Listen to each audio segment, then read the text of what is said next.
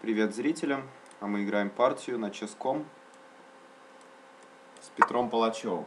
Это мастер Фида из России, которым мы, кстати, играли вживую также, классическую партию.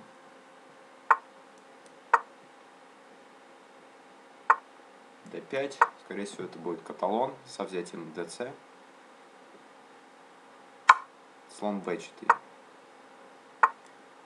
Похожие партии у меня уже были. Здесь я выбираю расстановку со слон g2, рокировкой, ладья d1. И где-то может быть ход слон f4 также.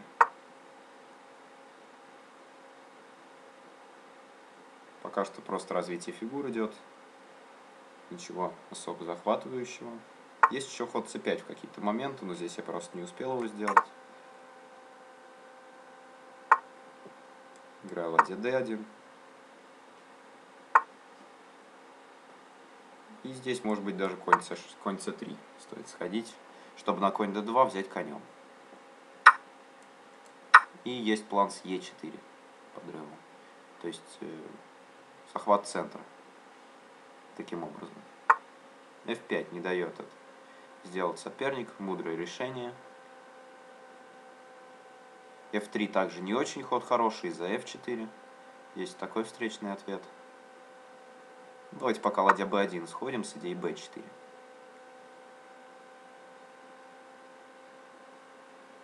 Я думаю, что черные справились с дебютными проблемами и сейчас стоят очень хорошо. Не вижу какой-то какого-то очевидного плана за меня, где атаковать. Пока что попытаюсь, может быть, это b5 сыграть.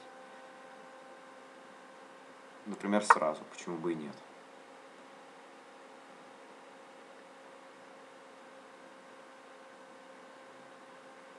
Есть план взять bc, на bc сыграть c5, слон отойдет и f4, чтобы похоронить также игру в центре.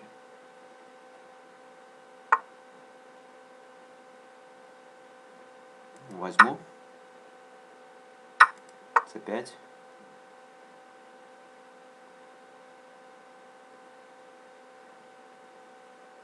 Здесь f4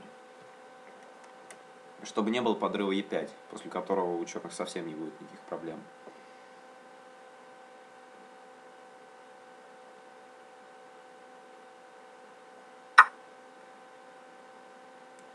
Ферзем здесь, на слон 5 ферзь d3, развяжусь.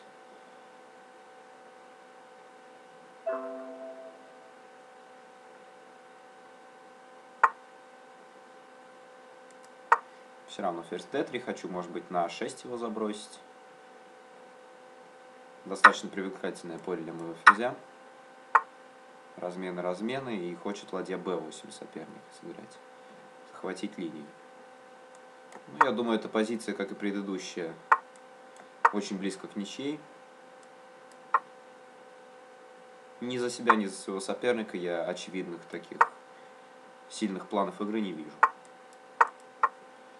Надеюсь лишь на то, что здесь конь мой окажется сильнее, чем его, чем напольный слон. Потому что позиция закрыта, и это вполне возможно. Давайте попробуем здесь для разнообразия взять пешкой. Может быть получится идея с b4 и b5, такое стратегическое решение. Посмотрим, насколько оно будет оправдано. А пока что a5. Король e1, хочу подвести короля на d2, а потом уже ферзя на a4. Или на d3 с угрозой размена. Давайте на d3. При размене я поведу короля на a4. Соперник мне этого не позволяет. Король c2. Ферзь b4 хода нет из-за ферзь a6. h3. Попробуем напрячь еще здесь, на королевском фланге создать напряжение. И возможно перевести ферзя через g2.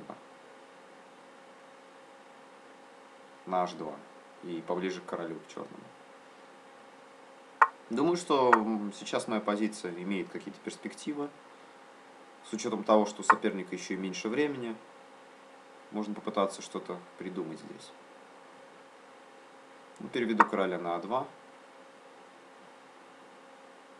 Чтобы в случае размена ферзей он был уже ближе к пешке А5 к слабой.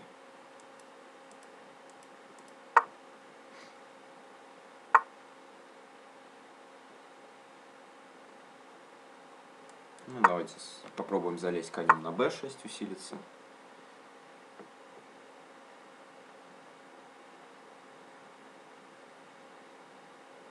Так, вот здесь нужно подумать, как дальше нам залазить. Ну, сначала g5. Я не думаю, что меня здесь есть какая-то игра. А вот ход ферзь h2 может потрепать нервы сопернику. Причем всерьез. Да, издается. Ну, скорее всего, да, здесь уже объективно черные стоят хуже.